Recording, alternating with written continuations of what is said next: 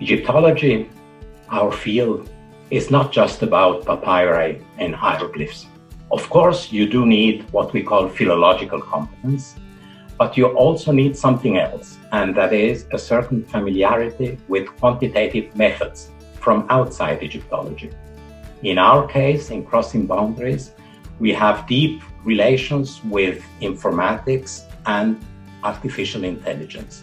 In this sense, we are a truly transdisciplinary project that combines humanities, social sciences, and hard sciences.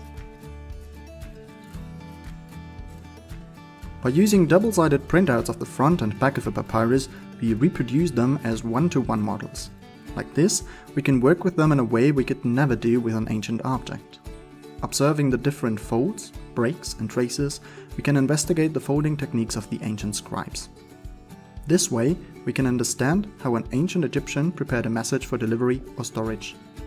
This letter was probably still found as a tiny folded package when it was discovered by archaeologists.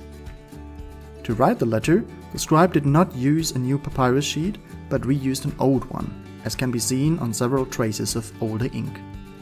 A reused manuscript is called a palimpsest.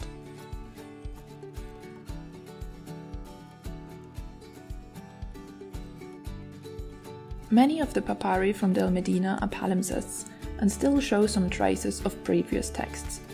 The erased text can sometimes be made visible with the help of ultraviolet or near-infrared light filters. Since we cannot examine the originals at the moment due to the COVID-19 restrictions, we have to rely on working with high-resolution photographs. With the help of color enhancement software and manual tracings on the enhanced images, it is possible to create some preliminary drawings of the erased text. Once the access to the papyri is granted again, these drawings will be corrected after the examination of the originals.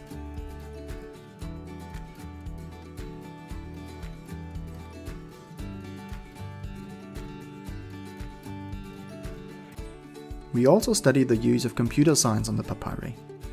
Did you know that a machine can learn to identify a papyrus fragment within a photograph and automatically cut it from the background?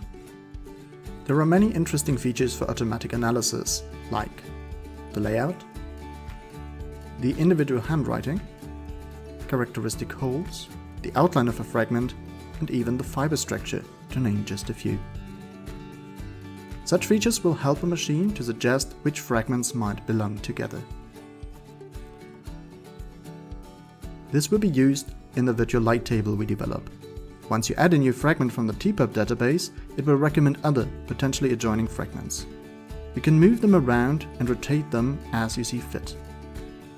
You can flip the fragments to look at their backs, or even flip the whole table. The results can be saved and printed to share them with other scholars. We decided to create these videos and share them with you online to give you an idea of our work in home office during COVID-19 lockdown. We hope you enjoyed it. Take care and stay safe.